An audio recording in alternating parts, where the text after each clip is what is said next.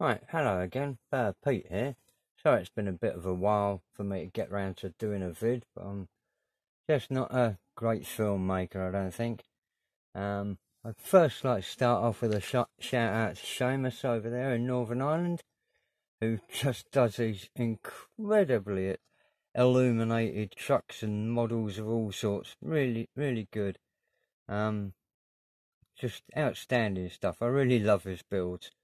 Uh, so a big thanks over to Seamus there.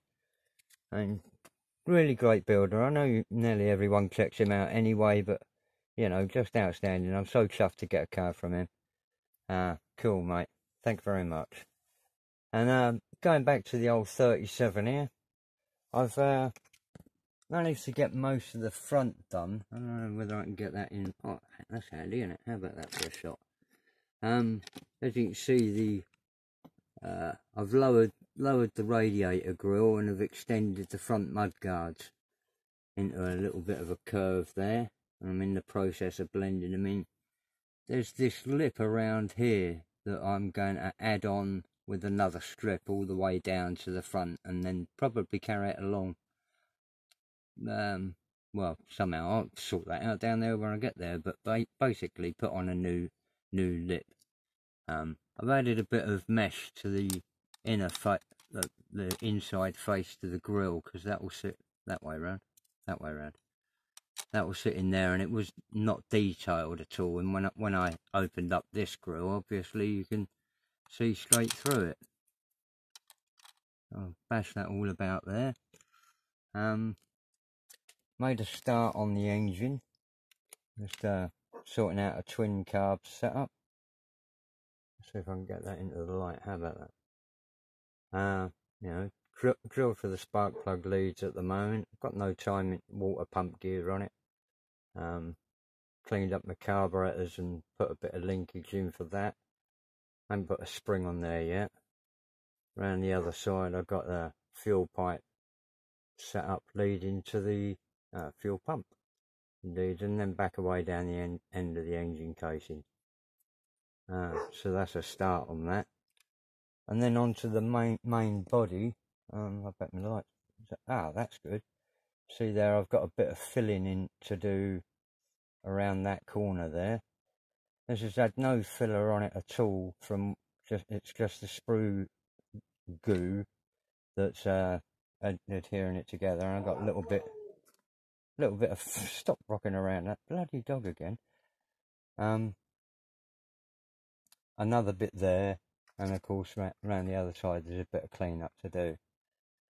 Down here I've got all the parts for the hinges and uh, window frame. This is all window frame section going on down here, these curvatures and that. And I've still got to finalise the actual, uh, come back, pillar, you know, dimensions and clean them up properly and then build the frame to fit fit what I've finalised with the, the pillars. Um, the roof, the roof itself is cleaned up nice. Hardly a seam. I'll give that um, a guide coat of black paint over this to see what's what, but there's no point doing it down the sides yet because I can see where it needs filler in the first place. I mean, look at that. Half a tube of filler going in there. Well, not that much, but a bit of work to do on both those edges. Oh, and I'm back round to the doors. That one's kindly falling off for me because it's just jigged in there. I'm in the process of making up the hinges for these. And I've had to colour coordinate each one uh, because they're going to be like shoehorned into each each pocket in the door there, if you can see that. And then have a pin and I've boxed in the back where they where they'll actually locate. Like that so you know they'll locate in those points and I'll, I'll box them in so as they don't wobble too much. The upper half of the door is a standard uh, just a a piece of rod through a tube to each end. The hole in the centre I've filled in the original one and drilled a new central hole for the uh, little handle I've made. It's one of the, oh there it is. that little piece there will go through the door with the other piece. Uh, as a get off as a H-shaped handle and this is the locking mechanism yeah right turn around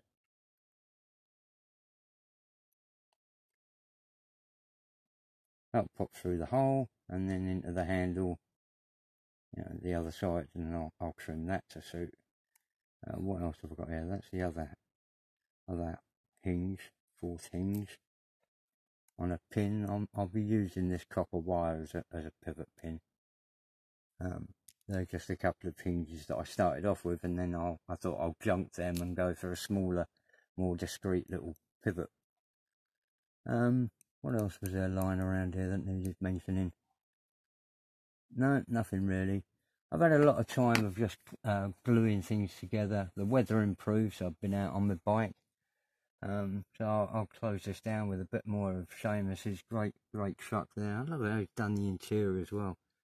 You know, he's printed decals for these things, and now he's into 3D making, whatever you call that, the 3D moulding thing. It's awesome. Anyway, bye bye for now. Hope you enjoyed this and I've not bored anyone. Thanks to Nigel, Charlie, and and Greybeard walking over there as well. Look out for Barry T's new build. He has got a wicked Woody. Man, this is terrific. Um, it's an Oldsmobile some sort of late forties Oldsmobile. I can't can't remember off the top of my head. Sorry, Barry. I'll change the little doodad.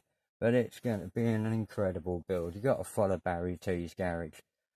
Anyway, bye for now. Bye all, and best wishes from jolly old England. Ta-ra.